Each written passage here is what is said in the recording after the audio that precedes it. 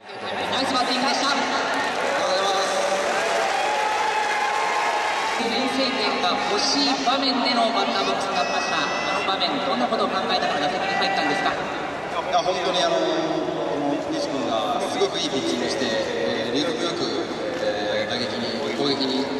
えー、出てたんでなんとか先制点取りたいなと打席入りましたこのタイムリー打った球はどんな球で打った時の感触を教えてくださいえーチェンジアップだったと思うんですけど、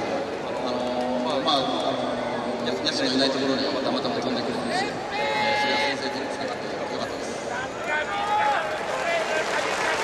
このタイムリーでこのゲームの流れを作りました。ありがとうございます。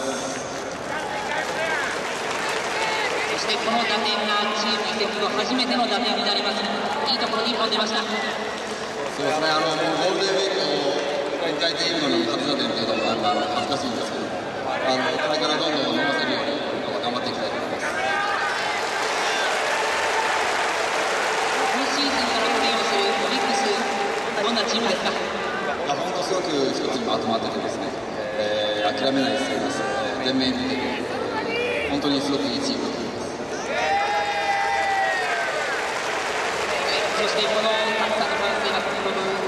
生が囲ドームの雰囲気はいかがですか？本当にあのーワンプレーワンプレー皆さんがすごくリアクションしてくれるえー、僕たちも、えー、やりがいがあります。ありがとうございます。今日の勝利でチームは4月月間17勝でこれは1978年当時阪急でしたけれども球団記録に並ぶ勝利になりましたえー、そうですね、あのー、本当に西君が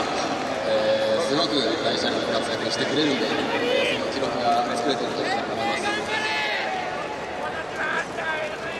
今日の勝利で明日、明後日のゲームがさらに重要になってくると思います。明日以降に向けてファンの皆さんにメッセージをお願いします。はい。はい、まあ明日勝って勝ち越しを決めてですね、どんどん勢いに乗っていきたいと思います。今日は熱い応援ありがとうございました。